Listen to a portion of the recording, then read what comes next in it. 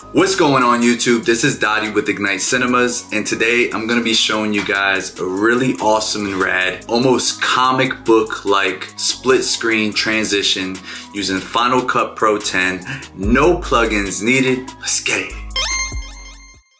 Alright, so like I said, in this video I'm gonna be showing you guys a really awesome comic book like esque split screen transition effect that will really enhance your videos. Now, if you know on this channel, I've done some tutorials on how to do a split screen and also a four-way split screen, but this is taking that on steroids, okay? We're gonna go into it. So let's go ahead and jump into Final Cut Pro 10. You will need two different scenes, so make sure you have those. Let's go ahead and hop on in. All right, so now that we're in Final Cut, first gonna wanna have my two scenes to work with. So one, shouts out to my YMCA family. We did a little promo for them. And then the next one, who doesn't love some adorable dogs? Shouts out to Dog Crazy. This is a commercial we did for them.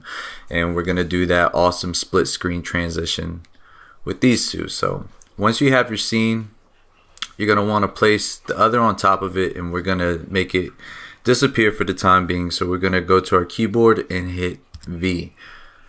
And a rule of thumb, you're most likely going to want to have two different distinct scenes. That way you can tell transition is happening. And because you're going to put so much time into keyframing, it's going to be tedious. You want to make sure there's actually a transition going.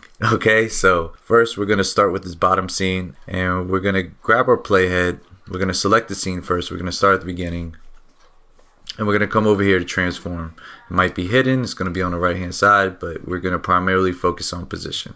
Now if you're fancy, yeah, of course you can change the scale and rotation, but I like keeping things simple and I know you guys on this channel love simplicity. So that's what we're doing. We're going to hit this plus sign to add a keyframe and we're going to be focusing on the x axis. So I'm going to grab my playhead and I'm going to move it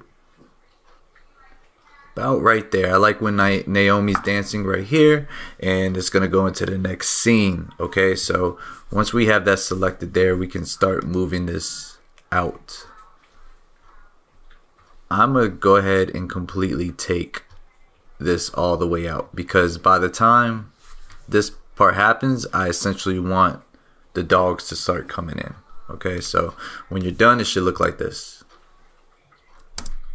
Alright, so once we have that in motion, we're going to focus back up front and we are going to move over a little bit. And you see this open black space right here. This is why I mentioned that it's kind of like a comic book effect because comic books, you know, they have the lines. So we're going to move the playhead a little bit over and I'm going to hit M on my keyboard so I can mark this spot right here.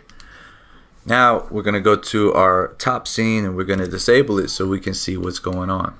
So immediately, once starting it, I'm going to have the playhead at the beginning. I'm going to select the scene and I'm going to come up here to transform position and focus again on the x-axis. I'm going to double click this and I use my mouse. I just drag my mouse up. Alright, so I got it out the scene. Alright, and I said it's important to market because right here essentially I want to start the dogs start coming in okay? So now that I have the positioning correct right here I'm all selected. Again I'm gonna come to add a keyframe up top. We're good to go and we're gonna be focused on this x-axis. I'm gonna come back over here to the playhead use the right arrow key bam. And then come back over here I'm gonna move the mouse down and have it peek out a little bit just like that. All right nothing too crazy. Come back over here hit the right arrow key and we're gonna play this game where we eyeball it and keep things moving. And it's gonna be this process throughout the whole time. Every time I come over here hover and use the right arrow key I'm gonna come back over here and make sure we're still aligned and eyeball it as good as possible it doesn't have to be perfect right arrow key right arrow key. Okay, let's adjust.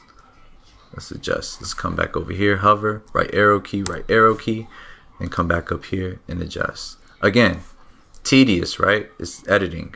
Come over here, hover over it, right arrow key, come back here, select, scroll down on the mouse, adjust. over here, right arrow key, again. And we're gonna do this for the whole duration.